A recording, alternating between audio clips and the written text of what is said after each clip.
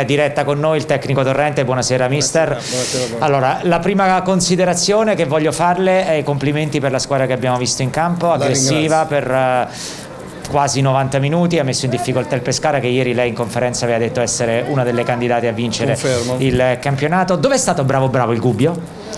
È stato bravo a pressare um, il Pescara, a giocare Mm, poi oggi siamo partiti con un sistema di gioco uh, diverso, uh, abbiamo attuato un 3-4-3, abbiamo eh, giocato diciamo, a uomo a tutto campo, quindi i ragazzi hanno interpretato bene, hanno fatto una grandissima prestazione contro una, una squadra forte come il Pescara. È arrabbiato alla fine per la mancata vittoria perché sai, segna un quarto d'ora della fine eh, ci ha fatto l'acquolina in bocca sì, diciamo di sì. Eh, soprattutto mi dispiace per i ragazzi perché sicuramente meritavano que questa vittoria ma è venuta fuori poi la qualità del, del Pescara, una grande giocata, quindi uh, siamo contenti della prestazione e anche del risultato.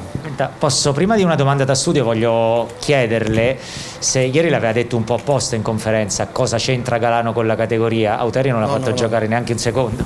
No, io confermo, Galano non c'entra niente con questa categoria. Io ho avuto il piacere e la fortuna di allenarlo per tre anni, un anno a Gubbio da giovanissimo e due anni a Bari e posso confermare che è un giocatore straordinario che non c'entra niente con la Serie C, è un giocatore che per me deve giocare o in B, in B L'ultima simpatica, lei ha giocato un anno con Auteri, no? mi ricordo bene, a Genova, sì, sì, 1985. Sì, quanto era bravo Auteri da allenatore e quanto lo metteva in difficoltà da attaccante e quanto da difensore lo metteva in difficoltà? Ma io ero bravo come difensore. Mi ricordo. Quindi, quindi... per 15 anni è stata a Genova, bandiera. Quindi ero bravo, per lui era difficile. Una domanda da studio, ci abbiamo strappato un sorriso a Torrente.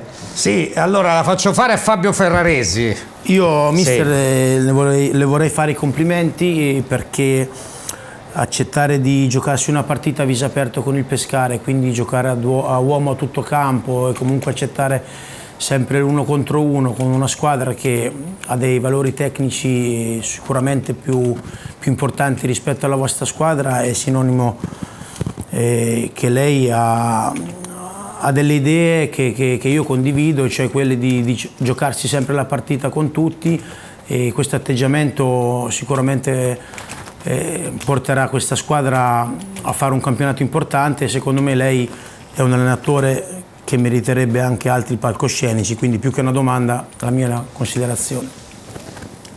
Allora, la considerazione e il complimento che le fa Fabio Ferraresi da studio è, è, che fa i complimenti perché, viste le qualità del Pescara, lei non ha avuto paura a mettersi nell'uno contro uno, quindi 3-4-3 a uomo a tutto campo. Fa i complimenti, dice che farà anche categorie superiori come, come allenatore. Sì, ho avuto già il piacere di farlo, spero di ritornarci perché il mio obiettivo è questo quello di ritornare ad allenare in, in B. Enrico, una curiosità. E quindi sono, sono, contento, lo ringrazio, eh, ripeto, i complimenti vanno poi condivisi con i ragazzi che veramente hanno hanno dato l'anima e hanno disputato una grande partita. Una curiosità da studio, poi la saluto io con una battuta. Vai Massimo. Ecco, velocemente eh, al mister perché è andato vicinissimo alla panchina del Pescara nell'estate 2013, poi fu scelto Marino, però sappiamo mm. che ha incontrato Repetto, allora direttore sportivo del club biancazzurro.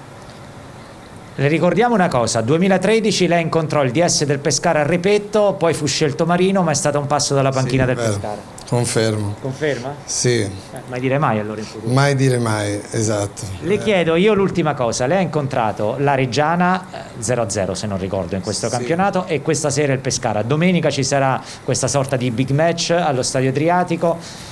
Caratteristiche migliori dell'una e dell'altra, come la legge questa partita? Ma il Pescara credo abbia molta più qualità, un po' in tutti i reparti, soprattutto da centrocampo in avanti. Anche la Reggiana è un'ottima, un'ottima squadra, è un'altra squadra che gioca un 3-4-3, anche loro uh, ad uomo. E sono due squadre costruite per, per, vincere, ma io credo che il Pescara abbia qualcosa in più rispetto a tutte le altre, abbiamo incontrato anche l'Entella, abbiamo incontrato il Cesena, in questo momento credo che il Pescara ha, ha delle individualità um, di spicco.